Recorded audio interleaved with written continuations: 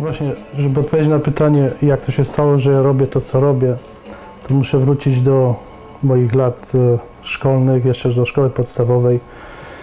Siedziałem w jednej ławce z takim chłopakiem, miał na imię Jacek i on właśnie malował. On malował i on rysował, potrafił pięknie rysować. Nawet w czasie lekcji, kiedy nauczyciel nie patrzył, on miał zawsze kartkę pod zeszytem, zawsze coś rysował. Rozmawiałem z nim, chciałem się dowiedzieć, jak on to robi, jak, skąd on to bierze, że on tak potrafi robić. I on mówi, najlepiej jakbyś sam spróbował. I ja mówię, jak ja to mogę sam spróbować? To jest niemożliwe, ja, przecież to trzeba mieć jakiś talent. On mówi, weź sobie fotografię jakąś kogoś, kogo lubisz, jak, znaczy czegoś, co lubisz i spróbuj to narysować. Ponieważ we mnie już tkwiła muzyka od długiego czasu i słuchałem dużo muzyki i bardzo bym, to jest, to jest, muzyka jest moją drugą naturą. E, po prostu szukałem za czymś, co bym chciał narysować i wtedy byłem bardzo głęboko w, e, w, w muzyce Jimmy'ego Hendrixa. Wziąłem jego fotografię i spróbowałem to narysować. Chyba drugi czy trzeci raz, jak rysowałem, to już mi to wyszło na tyle, że już byłem e, zadowolony z tego, co wyszło. Rysowałem Jimmy'ego Morrisona, rysowałem Isaac Hayes. E, miałem tak, taki zeszyt, gdzie to wszystko robiłem i ten zeszyt prawdopodobnie jeszcze gdzieś tam w rodzinie jest. I e, pamiętam, rysowałem taką e, babcię moją, czy to była prababcia, bardzo stara kobieta już wtedy i była bardzo, bardzo pozmarszczana i te, odtworzyć te zmarszczki, wszystkie te, te cienie, te półcienie, te, te zarysy. To siedziałem dosyć długo na tym, ale pamiętam no dzisiaj ten, ten rysunek i e, takie były moje początki. Od tego się zaczęło i zawsze ta, od tego momentu już to siedziało we mnie, ten, to, ten pociąg taki do, do sztuki, do malarstwa, do, do obrazów. Praktycznie przez całą szkołę średnią e, byłem związany raczej z muzyką ale e, wtedy zacząłem fotografować. Dużo się zająłem fotografią. Miałem przez moją mamę, która pracowała w, e, e, w drukarni, miałem dostęp do takiego prawie że profesjonalnego biura, gdzie mogłem moje e, zdjęcia e, wywoływać, sam obrabiać, powiększać i tak dalej. O wojsku miałem dużo do czynienia z, e, nie z art, nie, nie z malowaniem obrazów, ale byłem z takim, e, w takiej e, grupie, gdzie żeśmy przygotowywali wszystkie graficzne, graficzną stronę e, kompanii i całego pułku. Musiałem dużo literować, rysować, malować litery, przygotować na przykład cały samochód, prze, przeciąć samochód, pokazać różne punkty, na przykład obsługi jesiennej czy tam wiosennej. Więc to mnie dużo zajmowało, to przez całe wojsko. No i granie oczywiście, grałem też w zespole. Małżeństwo, dzieci, praca, nie było mowy o jakimś e, e, kontynuowaniu dalej tego zainteresowania sztuką. To znaczy zainteresowanie było, tylko nie było e, aktywne. Nie, nie, nie robiłem nic, nie, mogłem, nie miałem czasu na to, żeby malować rysować cokolwiek. Potem przyszła Ameryka.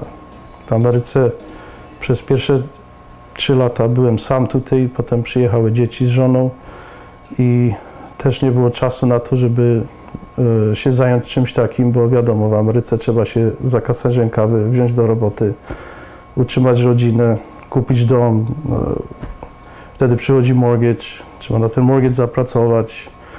Także przez cały ten czas e, jedyne, co mi zostało z tamtych lat i z tamtych zainteresowań, to moja gitara i od czasu do czasu coś tam brzdękałem na niej i to, to było wszystko aż do momentu 4 lata temu, 4 lat temu, kiedy e, przechodziłem z moim bratem jego śmierć. On e, umarł na raka e, i przez ostatni, znaczy przez rok czasu walczył z tym rakiem. I w czasach, kiedy jeszcze mógł cośkolwiek e, zrobić, kupił sobie farby, kupił płótna, kupił pędzle, wszystko to miał i, i zaczął malować. I potem po jego śmierci część z tego zostało dla mnie, część tego e, dostała jego córka, która też maluje. 4 lata temu, to było późną, znaczy późnym, e, to było gdzieś w, w grudniu, to był piątek wieczór, tak siedziałem już po całym dniu, kiedy człowiek jest zagoniony, e, załatwia sprawy, idzie do pracy, e, coś musi po pracy w domu zrobić i siedziałem i nie miałem już więcej nic do, do zrobienia, to był wieczór gdzieś koło 8-9 i wtedy przyszło mi do głowy, że przecież ja mam wszystko w domu, żebym mógł zacząć malować. No i od tego się zaczęło moje, to był taki przełom w moim życiu, jeżeli chodzi o te sprawy. Wziąłem pędzel, farby, zacząłem malować. I do tej pory to trwa, ta pasja moja się rozwija coraz, coraz więcej. To dosyć dużo obrazów posprzedawałem po całym świecie. Sprzedaję trochę przez eBay. Spotkałem się z e, około pół roku temu z tą grupą e, polskich e, artystów, malarzy tutaj w, w okolicach w Connecticut, tak się z nimi trochę związałem, no i uczestniczyłem już w tej pierwszej, znaczy to była ich druga wystawa, taka nasza wspólna, a teraz przychodzi moja wystawa, która się zacznie w, w lutym, 3 lutego, otwarcie w Domu Wesołym o godzinie 6, jeżeli by ktoś chciał przyjść i no i na pewno będę to dalej kontynuował, bo to siedzi we mnie. To, to nie jest to, że ja się zmuszam do tego, czy, czy coś, to jest po prostu siedzi we mnie, to, jest, to wychodzi ze mnie. Jak, jak nieraz na przykład słyszałem wypowiedzi różnych artystów, że oni malują to, co czują i, i czasami się zastanawiam, jak to może być. A to jednak tak jest. Człowiek jak naprawdę robi, e, znaczy robi to, co czuje, i jesteś w trakcie tego, tego robienia, to przestaje istnieć czas, upływ czasu. Czasami jest godzina 12, ja się nagle orientuję, że jest już 12 w nocy. I już trzeba iść spać czy coś, bo tak po prostu czas płynie, że nawet nie wiesz kiedy. Mój brat, jak to co zostawił, to był akrylik. I jeżeli jeszcze wcześniej, zanim odszedł, to z nim rozmawiałem trochę na ten temat. On mi powiedział, na czym to polega, że ta farba się rozpuszcza wodą, Potem się zorientowałem, że wodą rozpuszczanie nie jest takie dobre, że to raczej powinno się używać te media tak zwane i to zacząłem robić, więc stąd jest akrylik. I poza tym lubię akrylik, chociaż próbowałem e, olej, ale olej mi nie podchodzi, dlatego że olej jest za dużo, za długo schnie, a akrylik ma, jak to banalnie powiedzieć, ma jedną zaletę, jedną wadę. Zaletę to ma tą, że bardzo szybko schnie, i wadę to ma to, że bardzo szybko schnie. Więc trzeba się nauczyć akrylikiem robić, ale jeżeli się dojdzie do tego, to jest taki wygodny do, do po prostu do malowania, wygodny do, uży, do użycia. Pociąga, co najbardziej lubię robić, to są portrety. I co najbardziej lubię w portretach pokazać, to jest emocje. Ludzi, których portretuję. Lubię pokazywać muzyków. Maluję ich na, na scenie, w czasie odtwarzania tego ich aktu, grania na gitarze, śpiewania czy, czy e, grania na harmonice. Ostatnio całą serię zrobiłem takich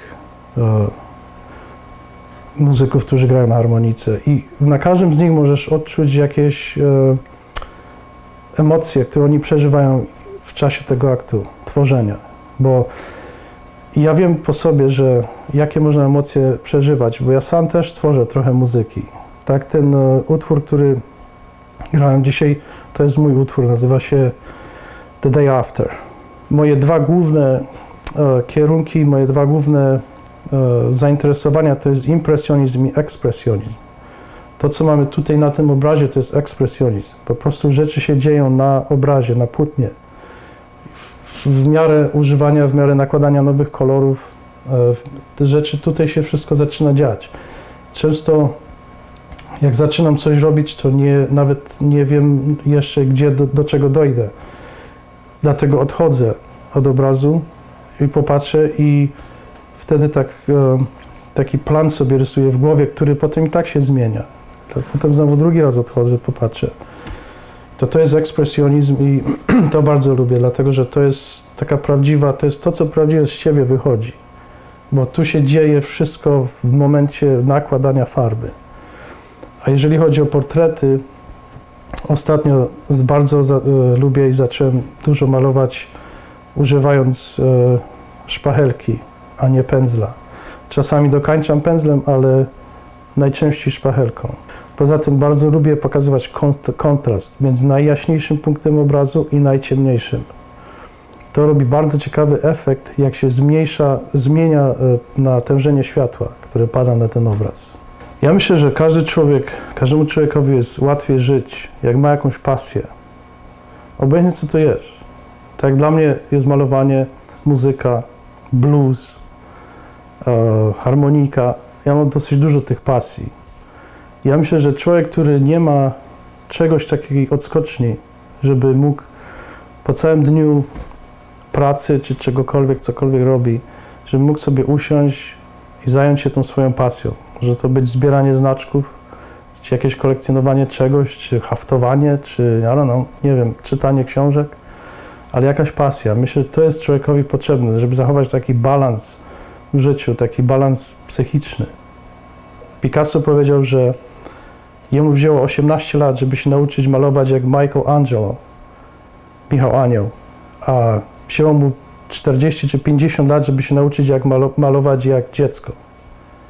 Więc jak dziecko malować każdy potrafi, czy rysować.